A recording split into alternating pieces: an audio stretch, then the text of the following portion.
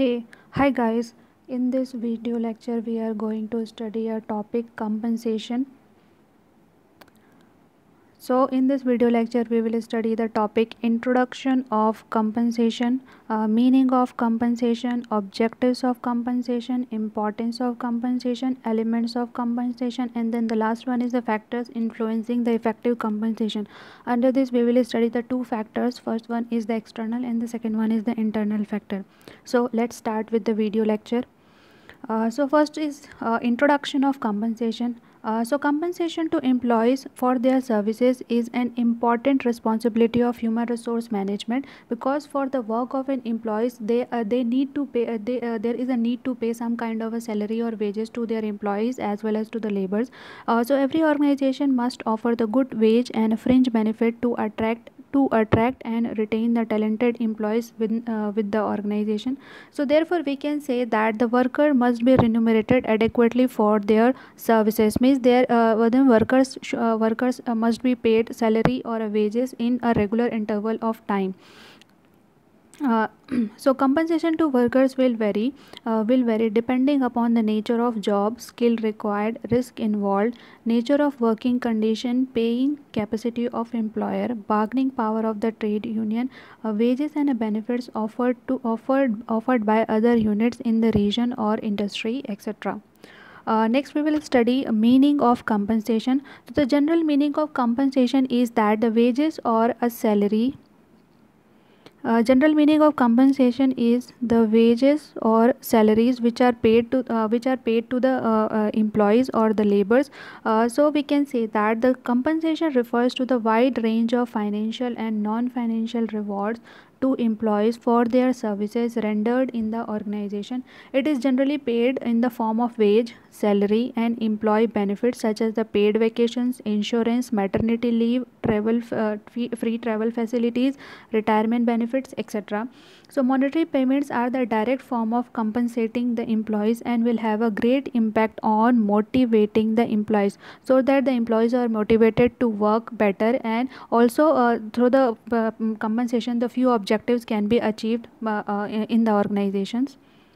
Uh, next, we will study the objectives of compensation. So, the system of compensation should be designed in such a way so that the following objectives can be achieved. Uh, the first one is the capable employees are attracted towards the organization means the employees who have the proper skill set and talents may attracted towards the organization. And the second one is that employees are motivated for the better performance so that the productivity of organization will improve. So ultimately uh, the, this will lead to the increase in the wages or a salary of employees. Uh, so the last one is that uh, employees do not leave the employer frequently means there is no turnover or there is a reduction in a turnover. So these are the three main objectives of compensation. Uh, next we will study the importance of compensation. Uh, so compensation may be uh, may be used to the first one is recruit or train the qualified employees uh, so recruitment and retention of qualified employees is a common goal shared by many employers. Uh, to some extent, the availability and cost of qualified applicant for open position is determined by market factors. Uh, second one is increase and maintain the moral or satisfaction of employees. the moral and uh, job satisfactions are affected by compensation. Often there is a balance uh, uh, between the monetary value and the employer is willing to pay and sometimes the sentiment uh, sentiments are also being worth to be felt by the employees. Uh, next is the reward uh, reward and encourage the employees for their peak performance.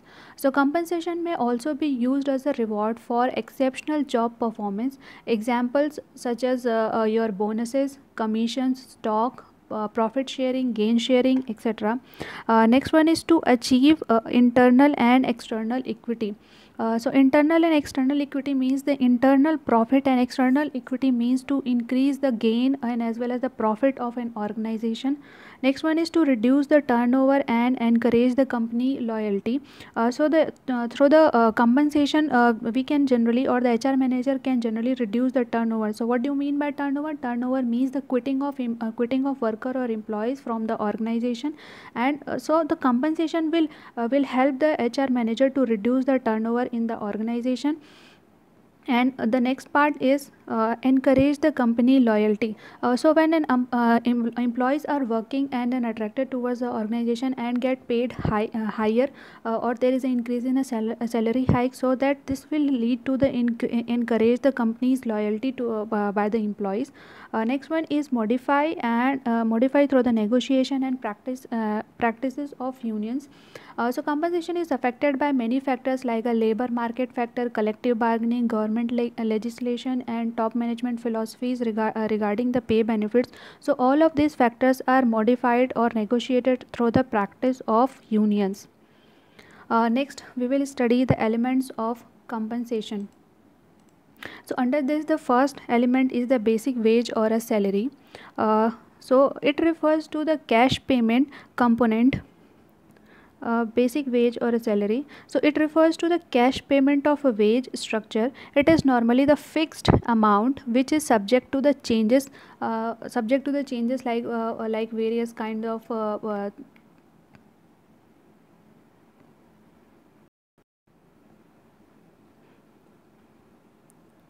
A wage represents the hourly rate of pay and a salary refers to the monthly rate of a pay irrespective of the number of hours put uh, put in by the employees. Uh, second one is the dare, uh, dearness allowances. So it facilitates an employees and the workers to face the price increase in the inflation of price of goods and services consumed by him. So generally the dare allowances are paid to the employees when there is a, when there is an increase in the price of goods and services or we can say there is a hike in inflation of goods and services services. Uh, next one is the incentives. Uh, so incentives are the paid promotion in addition to wage and a salary and are called the payment by results. So incentives depends upon the productivity sales profit and cost reduction efforts. So there are generally two kinds of incentives which uh, which are provided to the employees. First one is the individual incentive schemes and the second one is a group incentive schemes so the next element under the uh, elements of compensation is bonus. Uh, so the bonus can be paid in a different ways. It can be a fixed percentage of the basic wage paid annually or in proportion to the profitability. So there is also a bonus plan which compensate the managers and employees based on the sales revenue and profit margin achieved uh, bonus plan can also be based on the piece wage but depends upon the productivity of labor. Uh, so the next one is the monetary non-monetary benefits. So these are these benefits give the psychological satisfaction to employees even when the financial benefits are not available. Uh, so non non-monetary benefits are like uh, recognition of a merit uh, through the certificate to the employees offering uh, challenging job responsibility to employees promoting growth prospect to employees. Competent supervisions are provided to employees. There must be a job sharing and a flexi timing for employees. Uh, next uh, our element is uh, commission. Uh, so commission to managers and employees may be based on the sales revenue and profit of the company. Uh, it is always fixed percentage of of the target achieved. Uh, next is fringe benefits Uh, so these are the indirect compensations. Uh, so they are supplement to the regular wage received by the workers at the cost of employees uh, so the fringe benefit may be defined as a wide range of benefits and services that the employees receive as an integral part of their total compensation package. They are based on the critical job factor and performance. Uh, so fringe benefits are supplement. Uh, these are the supplements to the regular wage received, received by the workers at the cost of employer. Uh, these include the benefits such as the paid promotion, pension, health, insurance plans, etc. Uh, so next uh, we are going to study a topic that is factors influencing the effective uh, uh effective compensation. Uh, so there are the two factors. First one is the external factors. External factors and the second one is the internal factors. So let us see all of these factors one by one. So the first one is the compliance with the law of land. So government of an every every company uh, as government of every country makes certain rules regarding the paid uh, uh, rules regarding the wages to be paid to the employees uh, so this uh, these are generally done to protect the workers from the exploitation by the management. Uh, so india being a welfare state so there are uh, a lot of acts which are enacted by uh, by indian government. So some of these are like minimum wages act payment of wages act equal remuneration act contract labor, labor regulation and abolition act and the payment of bonus act and many more acts related to the labor laws are enacted by the government of india to protect the exploitation of workers by the management so the second one is the prevailing wage rates. Uh, so the wage in a firm are influenced by the general wage level and uh, or the wage paid for a similar occupation in the industry region and uh, uh economy as a whole uh, so the third one is demand and supply of labor uh, the wage the wage is a price of a services rendered by the worker. The firm will require these services for which it must be pay a price that brings the worth uh, that brings forth the required supply. The supply is controlled by an individual worker or a group of workers acting together through their unions. Uh, so the next factor is cost of living so wages to be paid are normally adjusted for the cost of living index. Uh, monetary wages tends to vary depending upon the variation in the cost of living index uh, following a rise or a fall in the general price level or the consumer price index. So the last uh, external factor is the labor union and collective bargaining. Uh, organized labor, also called industrial labor, are uh, able to claim better wages than the unorganized uh, or craft labor. So, higher wages may have to be paid by the firm to its worker under the pressure of workers' union. Uh, so, the next part uh, is that the internal factors so under these internal factors the first one is the capacity to pay the capacity to pay of whom uh, capacity to pay of employer. So the employer's ability to pay is an important factor affecting wages not only the individual organization but also of the entire industry. So this is a function of the financial position and the profitability of the firm. So the next factor is top management's philosophy so wage rates to be paid to the employees are also affected by the top management philosophy, uh, their value and their attitudes.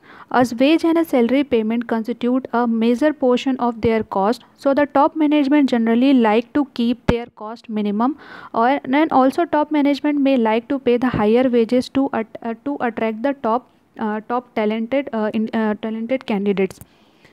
So the next internal factor is the productivity.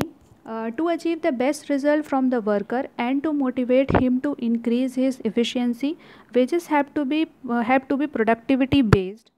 Uh, uh next is your job requirement. Job requirement indicating measures of a job difficulty provide a basis for determining the relative value of one job against another in an enterprise next factor is the organizational politics uh, so compensation survey, job analysis, job evaluation and employee performance are all involved in a wage and a salary decision. So the pol political consideration may also enter into the equation of calculating compensation. So the last factor is the employee related factors. Uh, several employee related factors interact uh, to determine the remuneration of employee. So these factors are performance of employees seniority level of employees experience of an employees and also the potential that an employee is having. So these are the fact uh, these are the external and uh, these are the external and internal factors. External and internal factors which generally affect uh, affect the effective compensation in the organization. Uh, so thank you very much for listening it very patiently